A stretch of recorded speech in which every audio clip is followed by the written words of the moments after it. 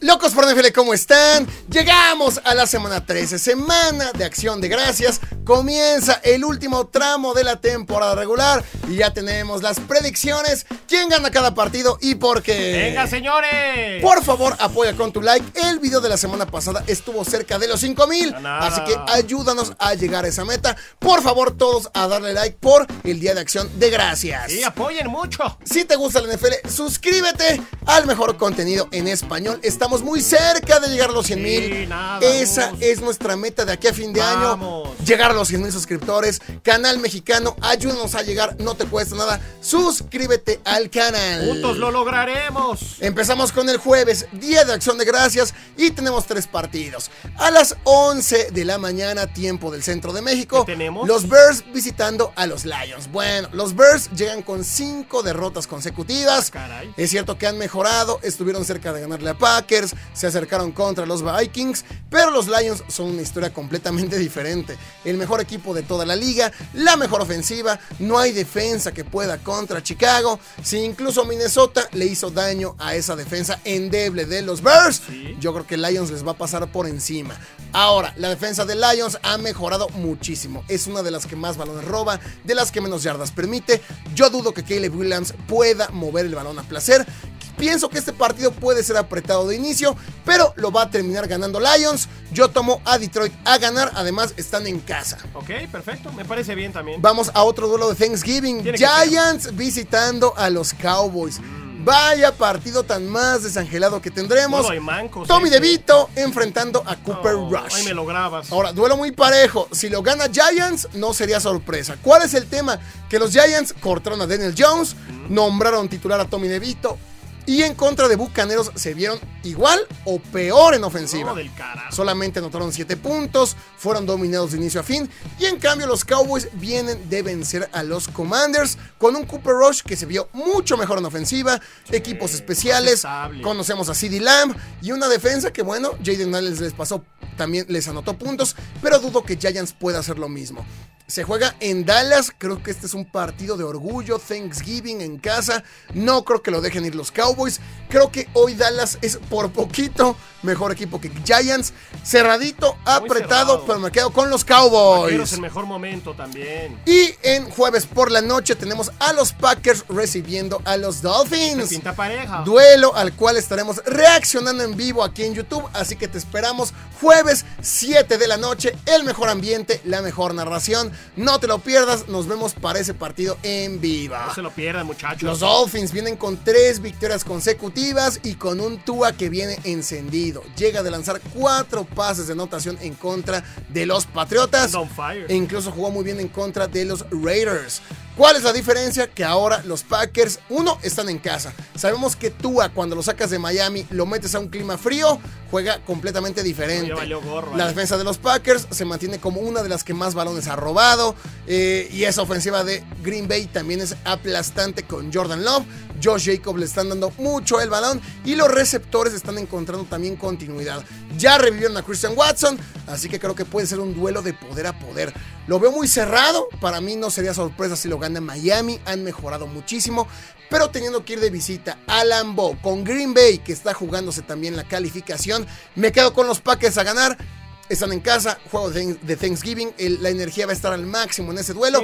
me quedo con los Packers a ganar. Sí, me parece, también el Lambo va a pesar. Y de hecho, amigos, vamos a recomendar una apuesta que ya lo sabes, tienes que hacer en micasino.com. ¿Dónde más? El mejor sitio de entretenimiento online de todo México. Sí, claro. Solo con registrarte con el código LOCOS recibirás el 150% para empezar a apostar. super bono, ¿no? Si tú metes mil pesos en tu primer depósito con el código LOCOS, recibirás 2500 y además 30 giros gratis en la ruleta. Oye, está excepcional esa promoción. Son favoritos los Packers por 3 puntos y medio y la línea de puntos totales está en 47. A ver qué vamos a hacer. Yo creo que lo gana Green Bay, pero creo que lo va a ganar por 3 puntos, por 2, tal vez por 4. Es un duelo muy cerrado.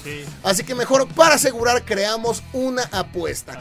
Bajamos a los Packers a más 3 y medio, que gana Packers o lo pudiera perder hasta por 3. Sí, correcto. Y la línea de puntos totales la bajamos a 3 39 y medio. Que entre ambos equipos anotan 40 o más.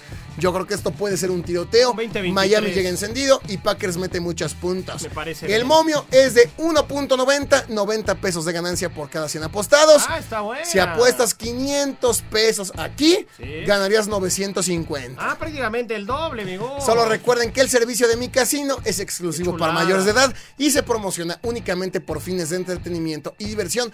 Por favor, no se claven con las apuestas. No apuesten las colegiaturas de los niños, caramba. Tenemos partido en viernes, partido de Black Friday, los Raiders visitando a los Chiefs. Bueno, Raiders es un desastre. Ya se lesionó Garner Minshew por el resto de la temporada, así que tendrán que iniciar con Desmond Reader. Los Chiefs son expertos en complicarse partidos, pero en casa ante Raiders con Desmond Reader dudo que se metan en complicaciones. Son el equipo bicampeón, saben ganar esta clase de encuentros. Raiders no tienen ni pies ni cabeza, de hecho a Raiders le conviene más perder para subir en el draft No, que ganar un no partido. da nada. Me quedo con los Chiefs. Oh, sí, sería un milagro este, ¿no? Y vamos a recomendar una apuesta, amigos, para todo Thanksgiving y para el Black Friday. Ah, a ver, ¿qué te vais ahí? Aquí está la apuesta. Tomamos a Lions menos dos y medio. Que Lions lo gana por tres o más. Por un gol de campo. Cowboys más tres y medio. Que Cowboys gana o lo pueda perder hasta por tres. Por tres máximo. Tomamos a Packers Money Line. Que Packers gana sin importar el marcador. Ajá. Y por último tomamos a Chiefs menos dos y medio. Que Chiefs lo gana por al menos tres puntos. Momio de 2.78. Ah, mira. 178 de ganancia por cada 100 apostados. Está buenísimo. Si apuestas, eh, le vamos a meter, le metimos ya en mi casino 1500. mono. ¿Y cuánto paga? Le metimos 1500 esa apuesta y nos paga si se gana. Son cuatro apuestas, es combinada, deben darse a las cuatro. las cuatro. 4175. Ah, ¿qué tal, Gus? Es buena lana, ¿eh? Así que todos vayan a apostar a mi casino. Mira, ahí está, aprovechen esa, Gus. Y sí, hice una lana nada más de puro Black Friday y puro Thanksgiving. Puro Thanksgiving y Black Friday, cuatro partidas. Aprovechenlo. Vamos ahora, amigos, a los partidos del domingo. Los Chargers visitando a los Falcons. A ver, Chargers viene de perder en contra de los Ravens. Se vieron muy chatos, tanto en ofensiva como en defensiva. Y los Falcons vienen de semana de descanso. Sí. ¿Cuáles son los temas a tomar en cuenta en este duelo? Uno, el coacheo. Jim Harbaugh, que es un coach que ha traído disciplina, buen juego a la escuadra de Los Ángeles, contra Raheem Morris, que los Atlanta Falcons están hechos realmente una, una desgracia. No saben bien quién son. Kirk Cousins lanzando intercepciones, una ofensiva que realmente no termina de carburar Un y una defensa muy endeble. Yo me quedo, amigos, a ganar a los Chargers. Están jugándose la postemporada, vienen de perder. Yo creo que Jim Harbaugh confío mucho más en él, va a ajustar sus piezas. Me quedo con cargadores a ganar ese partido. Ojalá no lo tire a la basura, como está acostumbrado. Steelers contra Bengals. Los Steelers perdieron en, eh, contra los Browns. ¿No? Ya tenían el liderato de división. Cayeron y ahora Ravens está tocando la puerta. ¿De qué? Es un equipo que tiene una gran defensiva, saben robar balones en los momentos precisos, pero su ofensiva, aún con Russell Wilson, ha seguido batallando. Del otro lado están los Bengals que, bueno, no cantan mejor, ¿no? Por supuesto que han perdido casi todos los partidos que han jugado, aunque sean cerrados, no saben ganarlos. Pero en este duelo, estando en casa, en Cincinnati, creo que la ofensiva se va a poder lucir. Me quedo con los Bengals. Un partido apretado, un partido duro, un partido que puede ser para cualquiera, pero me quedo con Cincinnati, confío más en esa ofensiva. Y la ofensiva de Steelers no me gusta nada. Me quedo con Cincinnati. Todo Cincinnati a ganar el divisional. Cardinals contra Vikings. Los Cardinals ya tropezaron. Mostraron el cobre. Yo se los dije, no creía mucho en Arizona. Fueron a Seattle, esa ofensiva se vio muy mal, solo anotaron 6 puntos. Kyler Murray regresó a ser el de siempre, muy errático. Un burro. Una defensa que incluso sufrió demasiado con eh, Gino Smith. Del otro lado, ¿quién tienen? A los Vikings. La defensa de los Vikings, aunque ya no es la misma de inicio de temporada, sigue siendo de respeto. Yo creo que van a poder contener a Kyler Murray, le van a robar balones. Y la ofensiva con Sam Darnold no es espectacular, pero ha movido el balón con Jordan Addison, con Aaron Jones y con Justin Jefferson. Se juega en Minnesota, me quedo con Vikingas. Yo voy, Gus. Cardinals más cuatro aquí. Que gana Cardinals o lo pierde máximo por 4. Sí, cerrado. Va a ser cerrado. Ya veremos. Colts contra Patriotas. Este partido se juega en Nueva Inglaterra y la verdad es que qué difícil poder decidir. Vamos a Los Colts con Anthony Richardson son una tragedia viene apenas de completar 11 de 28. Pero bueno, los Patriotas no están mucho mejor. La pregunta aquí es, ¿qué cara de Patriotas veremos? ¿Los Patriotas que contuvieron a Chicago ah. o los Patriotas a los que Delfines les pasó por encima? No, eso es cierto. Yo creo que estando en casa con esa defensa y Drake May que sabe más o menos mover el balón, va a ser complicado. Yo creo que lo puede ganar Pats pero pues me quedo con los Colts. otra vez. Me quedo con Indianapolis. No, no, ya estuvo, bueno. Tienen mucho más armas. Eh, la defensa es de alguna manera mejor. Patriotas no les creo ni la fecha. Me quedo con los Colts. Pues ni con los muertos, no nos una. Puede ganar los Pats, ¿eh? Pero me quedo con Indianapolis. Yo voy Pats más tres, Gus. Que gana Pats solo pierde hasta por, tres. Pero no das una, tú nunca. Seahawks contra Jets. Otro partido complicadísimo. Se juega en Nueva York. Los Jets vienen de descansar pero ya vimos esa ofensiva con Aaron Rodgers, es muy, muy mala. Es horrible. No puede mover el balón. La defensa tampoco ya es de respeto. esa defensa de Jets cualquiera eh, le mete puntos. Están derrumbados. Ahora, Seattle no viene mejor. Seattle viene de ganar dos partidos, pero yo no les termino de creer. Están motivados. Yo creo que, mira, Aaron Rodgers no va a poder mover el balón. Aaron Rodgers solito se pone el pie. Y del otro lado hay que ver si Seattle le puede hacer daño a esta defensa de Nueva York.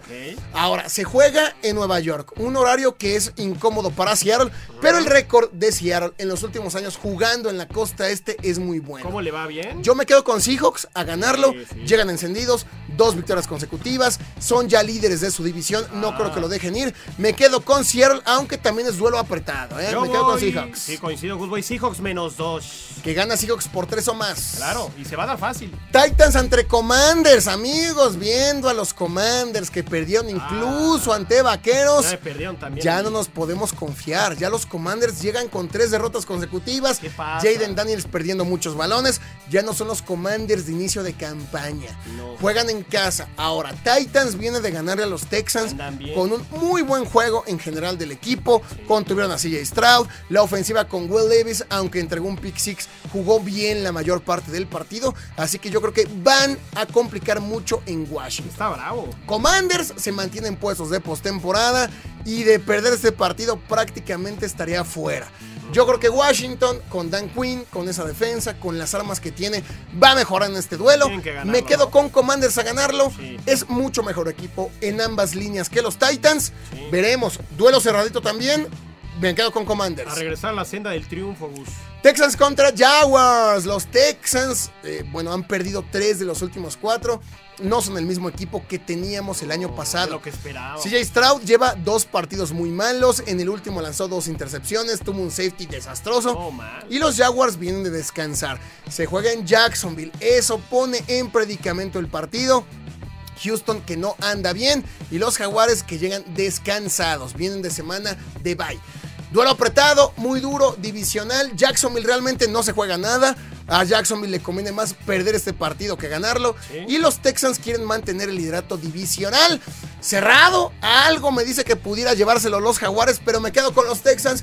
es el momento de despertar. Si no despiertan ahora, no lo van a hacer. No, y no van a ni meterse. Rams contra Santos. Se juega en Nueva Orleans. Otra vez dos equipos también muy apretados.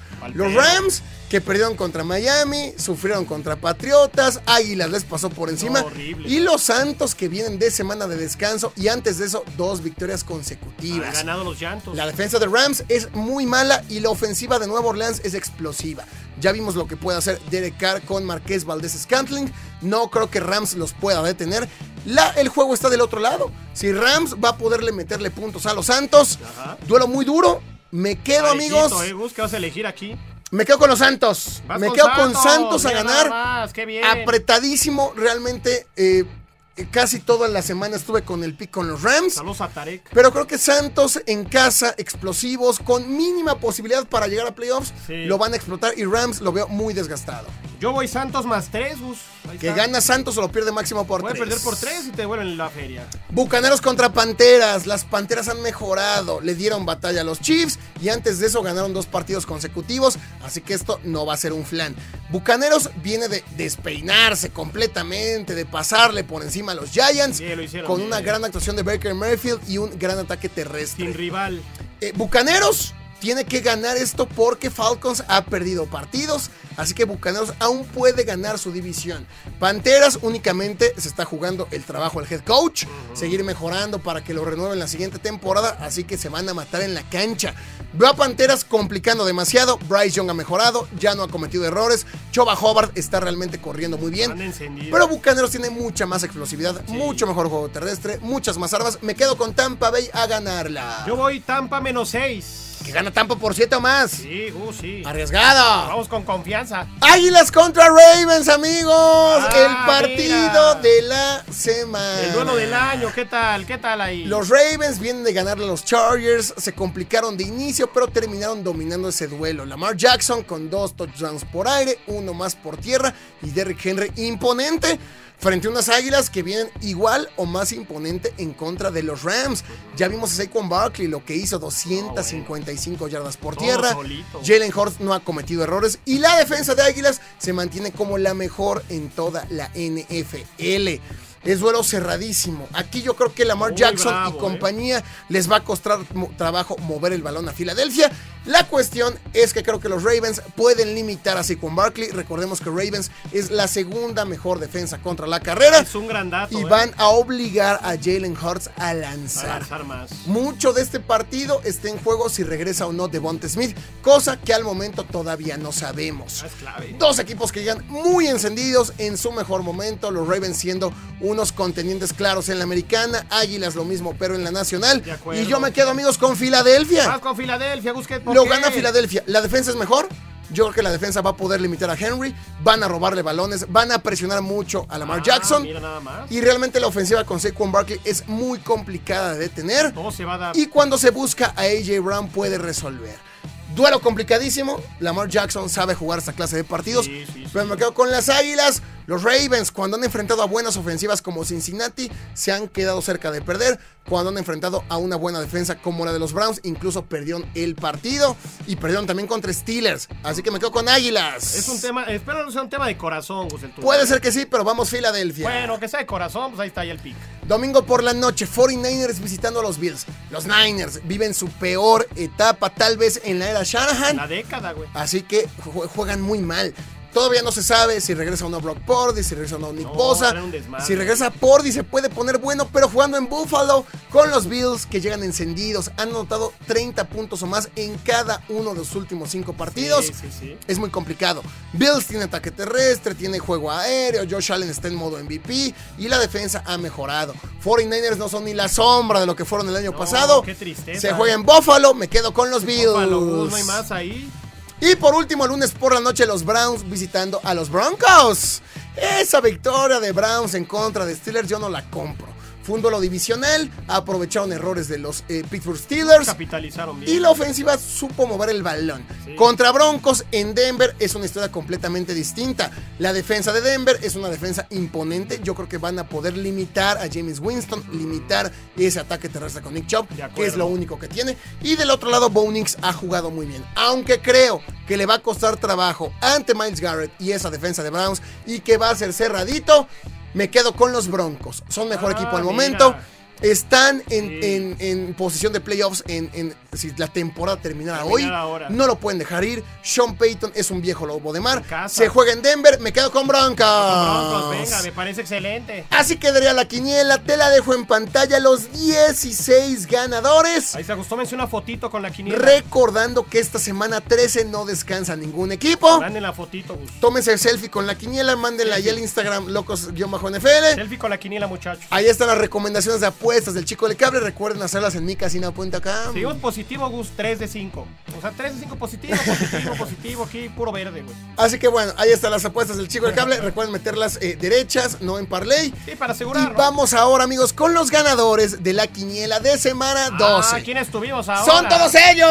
son como 300 mil, nada más. Acertaron 10 de los 13 partidos, así que todos ellos estarán participando en la rifa que tendremos a inicios de diciembre. Muy bien. Si tú también acertaste 10 de los 13 partidos, partidos de la semana 12. Manda tu captura al Instagram o Twitter arroba locos NFL para que te tomemos en cuenta. Por supuesto que sí. Así que bueno, si tú también quieres participar y ganar, vamos, seguimos con la dinámica, no te desanimes. Es muy fácil y además es gratis. ¿Qué tienes que hacer? Deja en la caja de comentarios los 16 ganadores. Los 16. 16 ganadores de semana 13. que, tengan 14, 15. Solo ganadores. Tómale ah. captura. El lunes terminando el Monday Night, si tuviste al menos 12 12, 12, 13 aciertos. 14, güey. No 10, no 9, porque, a vean, ahí está, uno nos mandó con 8, no sé qué le pasa. hermano, ¿cómo con 8? Son 16 partidos. Si tuviste al menos 13 o 14, manda la captura a las redes del canal, arroba locos-nfl, Twitter e Instagram. Mándenlo para allá. El que más tenga será el ganador de la siguiente semana. Así que todos a participar. Ahora, ¿qué puedes ganar? ¿Rifa de qué? Artículos de tu equipo favorito, cortesía de nuestro patrocinador JD Sports. ¿qué tal? JD es la mejor tienda en redes para comprar artículos de tu equipo favorito. Por eso no hay otro lugar. Ahora que vienen intercambios, cenas de Navidad, ah, fin de año, puedes comprar tazas, gorras, termos, llaveros, vasos, jerseys, mucho, mucho más. Ropa interior. Síguelos en Instagram y Facebook como JD Sports y compra tu jersey para que vivas la NFL como tiene que ser. Viene Navidad, viene Reyes, viene Año Nuevo. Vayan todos a comprar en JD Sports. Intercambios en las oficinas, Gus, anticipen esas compras. Así que todos a comentar, es muy fácil, es gratis. Únicas restricciones, solo vale un comentario por cuenta. No puedes comentar más veces de la misma cuenta. Ah, solo entran comentarios que entran hasta el jueves porque tenemos partidos en jueves y viernes. Si tú comentas jueves, viernes ya no vale tu comentario. Ya no entró. Y lo vamos a estar checando. Sí, porque están haciendo tranza. Y ¿eh? no valen comentarios editados, que eso ni tendría que decirse. Si los mandan el martes o el lunes, ya ni tomen la cuenta. Así que amigos, es todo por este video. Por favor, todos a romper el botón de like. Vamos, por 5000 likes. todos, todos a romper el botón de like. Esa es la meta. Suscríbete, ayúdanos a llegar a los 100 mil suscriptores antes de que termine el año. Todos, todos, todos a suscribirse. Si no lo han hecho. El mejor contenido en NFL en español. Activa la campanita también. Activa la campanita de esa manera YouTube te notifica en cuanto subamos nuevo video o en cuanto iniciemos transmisión. Exactamente, muchas veces es la clave del. Gracias por llegar hasta aquí. Gus Ambris, chico del cable. Nos vemos en, el siguiente.